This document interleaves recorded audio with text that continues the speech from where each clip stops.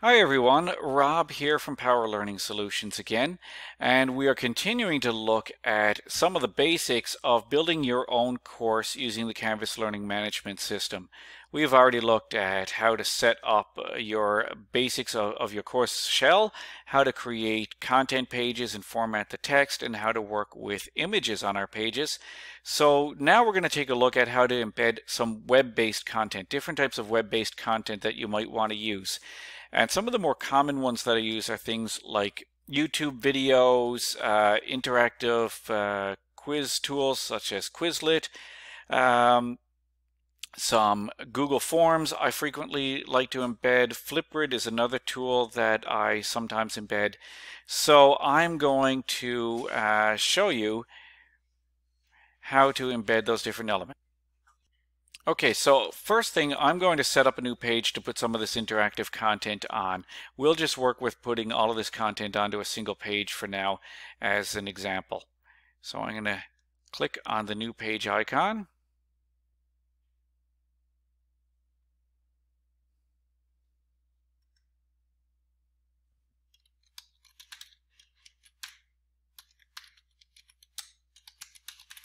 So I'm going to start off by embedding a YouTube video onto my content page. I work with YouTube videos frequently in my courses. I've already added the YouTube uh, third-party app here in Canvas, so you can see it's showing up on the toolbar.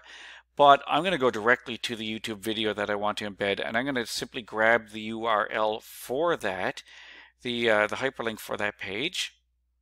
So here's a video that I have created and I'm simply going to click on the share button here. I don't even need to grab the embed code when working with this because I've installed that third-party uh, integration for YouTube in Canvas. So I have this URL and I can go back to my Canvas page and I simply need to paste the URL in place, hit enter, and it's going to add the player here for me.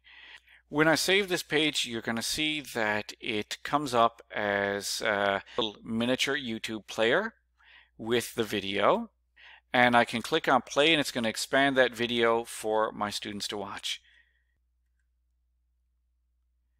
So now I have a YouTube video in place. I'm going to add another interactive element here uh, that is a little bit more technical in scope than just pasting in the URL for the YouTube video. I'm going to use uh, some embed code for an interactive uh, quiz that I've created using a tool called Quizlet and I'm going to show you how to do the same thing using Google Forms as well.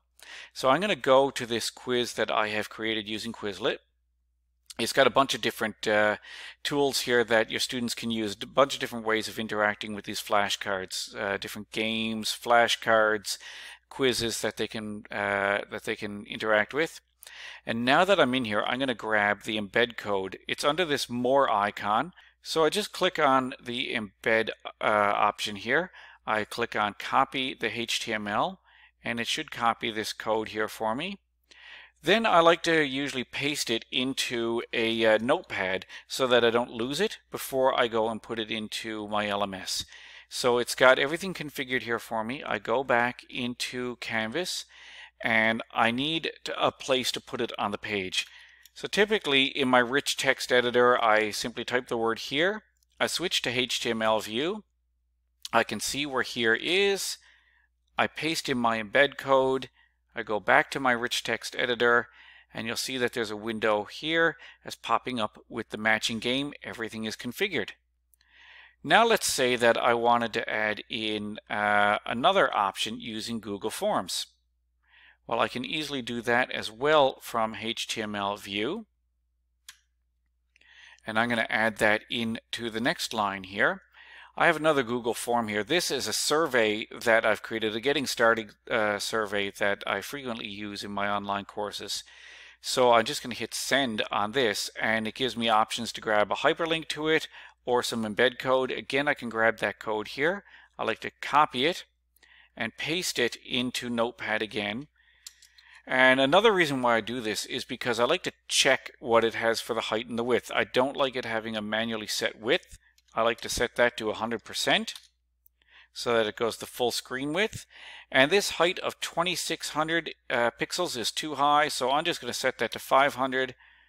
so that you're not scrolling forever looking at this. I'm going to copy this again, go back into Canvas, add in this embed code, and hit save and publish.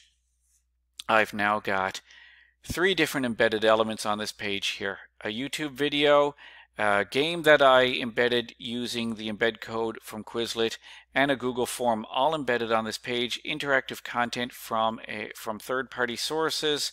So a great way to add some elements to liven up your course pages in Canvas.